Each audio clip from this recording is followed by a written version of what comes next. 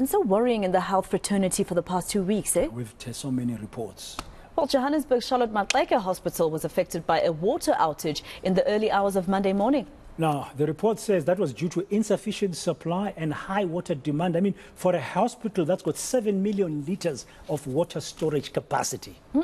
Water tankers were deployed to assist. The Department of Health says uh, that uh, the water was restored yesterday. But the DA's Jack Bloom says the impact of this was dire.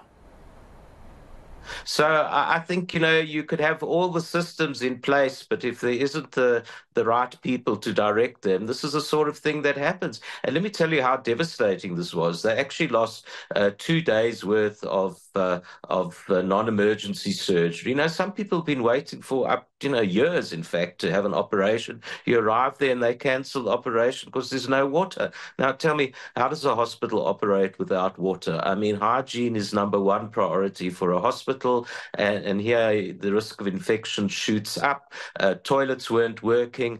Uh, it was a calamity. Dialysis patients had to be sent to a, another hospital. Uh, they couldn't take any new patients.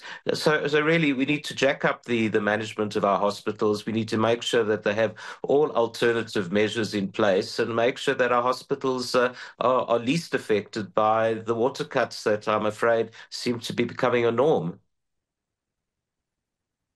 I visited Charlotte Maxeke yesterday, and uh, it, it, was still uh, taking some time to restore a, a full supply. Uh, uh I was told that the, the water is dirty, and they had to use uh, uh, buckets to, to flush toilets. So you know it's not quite over even at that hospital. But unfortunately, Rand water problems are going to be with us for some time. So we need to take special precautions with hospitals, but we must make sure that there's proper top management that knows what to do when there's a crisis.